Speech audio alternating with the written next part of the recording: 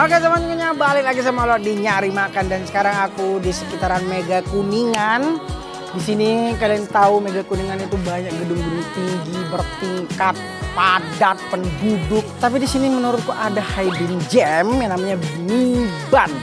Seperti apa makanan-makanannya? Ayo ikut aku di nyari makan. Let's go.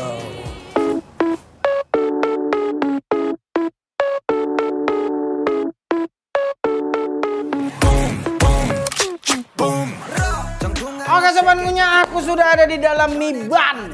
Mie babat dari bangsawan. ya mie ban itu adalah mie babat dari Bandung ya, sobat ngunyah ya. Jadi di sini aku uh, udah memesan beberapa menu di sini dan ku tengok ada beberapa banyak lagi menu yang di sini disediakan tapi untuk sementara aku memesan miamin chili oil. Nah, yang satu lagi ini namanya kenyang benjet. Aduh. Nih, sorry ya untuk orang-orang Medan, aku harus pakai banget karena memang memang pakai banget. Harusnya kalau aku kan en, kenyang kali ya kan. Ah, ada satu menu lagi yang bakal datang namanya cubit kue. Oke, jadi aku mau nyobain yang sini aja Mbak, apa-apa Mbak Is, terima kasih. Wah, sobat ngunyah lihat nih. Kue cubitnya berbentuk love. Berarti memang mbaknya yang ownernya ini dari hati nih buatnya. From my heart to your heart.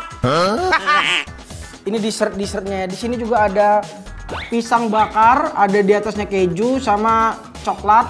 Terus ini bakso goreng sama pangsit goreng chili oil. Oke, sekarang aku mau nyobain si kenyang banget. Kita seperti biasa kalau makan mimian itu kita harus mencampur dengan kuah tapi tergantung sesu sesuai selera kalian. Kalau aku tuh tipis-tipis saja dan sebelumnya aku mau ngetes dulu kuahnya nih kalau kalian bisa lihat yang ya. Kuahnya itu udah dikasih minyak gitu. Terus di sini ada daun bawangnya juga. Nah itulah pokoknya ya. Enak lah pasti nih ku jamin. Kita tes dulu kuahnya ya sobatnya ya. Enak kali nih woi ini siapa yang masak nih? Hah? Siapa yang masak ini? Ini kuahnya ini enak kali nih. Enggak, ini kuahnya ini betul nih, enggak bohong ini. Memang ada mulut tuh ini, enak kali loh. Siapa yang buat eh, lah? Ini enak kali loh nih. Hmm. Wah, ini ya sobatnya ya. Rasa kuahnya itu apa ya aku bilangnya?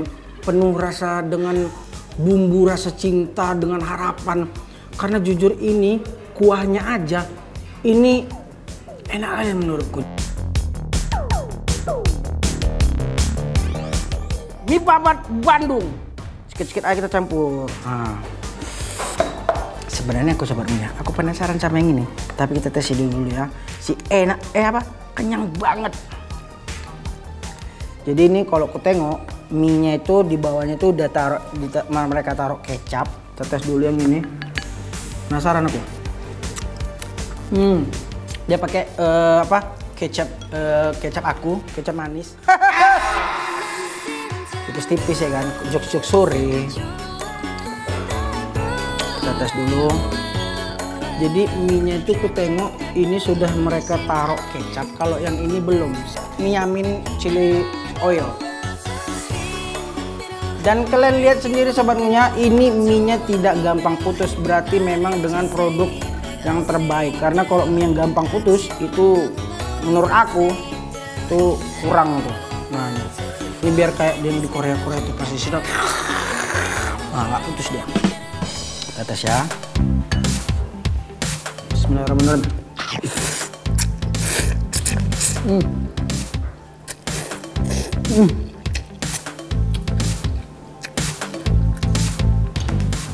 ini mie nya ini menurut aku ini yang kalau ada apa-apa dikomunikasikan jadi biar nggak gampang putus dia.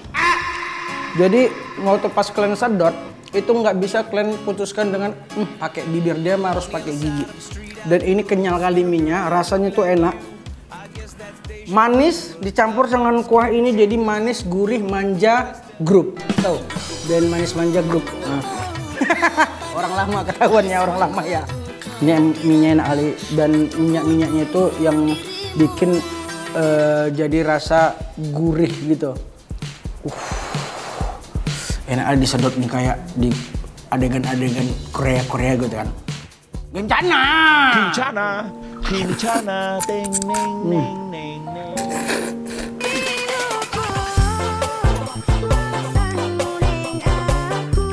Deh, aku. Dan ini ini apa nih? Ayam ya. Hmm. Perfecto, Magneto, Supermoto, Nugroho. Harganya ini kalau yang kenyang banget ini harganya 42.000. Jamin ciler 40.000. Udah termasuk slice beefnya, chili oilnya, dan ini ciri khas dari mie ban. Nah ini nih bingung nih. Harusnya kan kuahnya yang ini. Sekarang kita tes pakai babat ya. Sebenarnya salah ya. Kebalik ya. Salah mbak ya. Enak aja kok. Enak aja ya apa mau dicampurkan kayaknya enak nih. Nah, ini lebih soft sobat minyak. Berarti ini udah kencang di sini. Nah, ini yang harus di sini. Lo kau salah, lo. Tapi enak, macam mana lagi dibilang? Udah ini aja lah.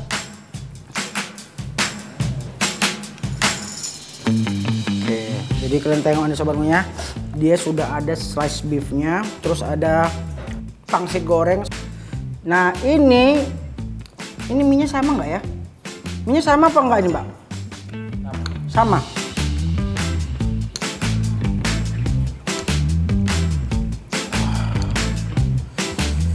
Ini dia aku nggak tahu rasanya nih, belum tahu. Kalau ini kan dia agak manis, ini kayaknya dari penglihatan aku tuh lebih ke gurih dia.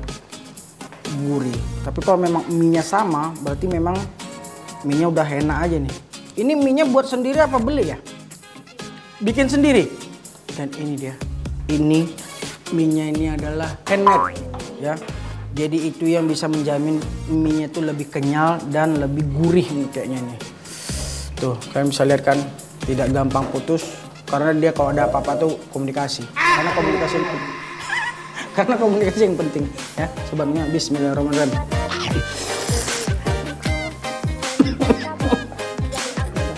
Uh,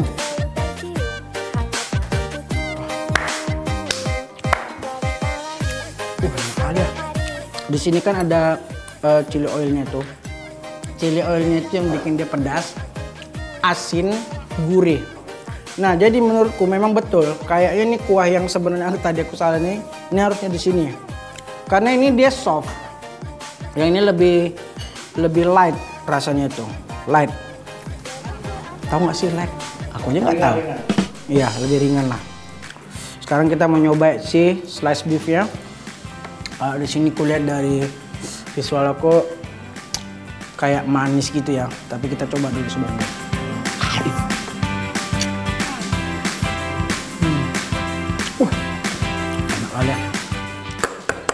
Ini berasa kayak makan di restoran Jepang gitu nih dagingnya.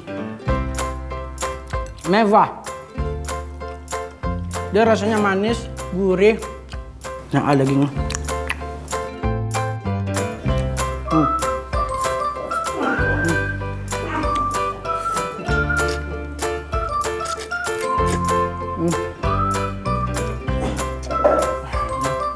Oke sebenarnya sekarang aku mau ngetes si babat babat babat babat itu yang kayak di TikTok gitu ya.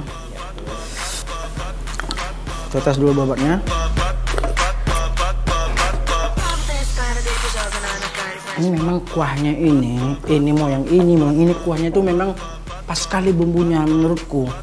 Jadi babatnya juga lembut, nggak kayak handuk. Tahu kalian handuk kan?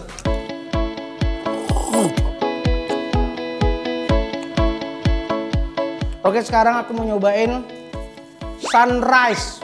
Isinya itu wortel, nanas sama apple to apple. Harganya itu 30.000 healthy drink. Kita aduk-aduk dulu sobatnya ya.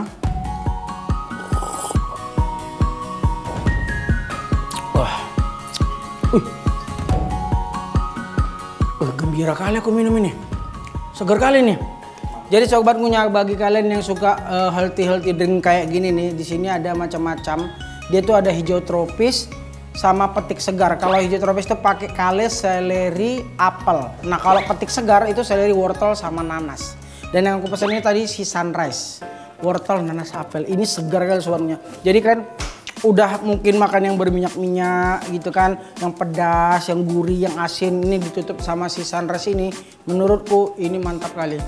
Ya, jadi dari berlemak, berminyak, ditam, dihantam sama si healthy drink ini, si sunrise. Wah. Segar kali ya Allah, enak kali. Aku ngerasa kayak hidup di muka bumi ini. Tadi sebelum ke sini kayak nggak hidup aku. Habis ini langsung hidup aku. Dan di sini juga mereka menyediakan dessert-dessert gitu ya. Ada kue cubit yang berbentuk love. Ini harganya 15.000. Terus ada pisang bakar. Nah, pisang bakar ini harganya 20.000. Aku mau nyobain si kue cubit tadi karena tadi aku nengok ke kakak-kakak yang di belakang itu ada kue cubit yang bentuknya love. Jadi aku penasaran ini. Wah, aromanya ini sobat ngunyah ini harum kali. Wah, nggak tahu aku bahan-bahannya apa tapi wah, enaknya. Ini love nih. Tuh, sarang he, sarang yo ya. Aku penasaran. Aku mau langsung makan si cubitnya ini.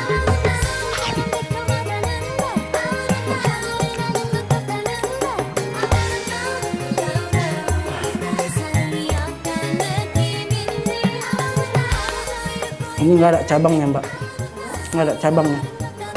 Dicubit. Cabang di Jakarta-Jakarta ada paling Cibubur kayak bisa aku dekat rumahku. Nah, sobat ngunyah kalau misalnya kalian ke sini terus pengen yang betul-betul healthy kayak minuman yang aku coba tadi, di sini mereka juga menyediakan bakmi shirataki pakai mie shirataki. Terus di sini ada cireng juga, ada pangsit goreng juga sama bakso goreng. Oke sebenarnya abis ini aku abis ini aku bakal nyari makan di tempat lain. Kalian jangan ke mana-mana, tetap di nyari makan. Woohoo! Look at my eyes, look at my life, my girl.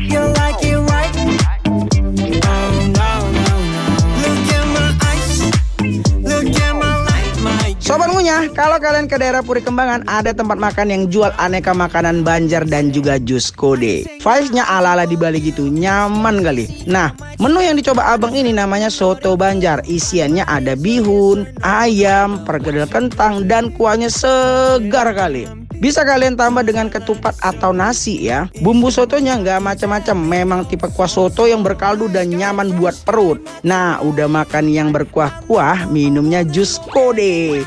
Ini jus jumbo tapi harganya masih masuk di kantong. Segini cuma 20 ribuan karena varian berry.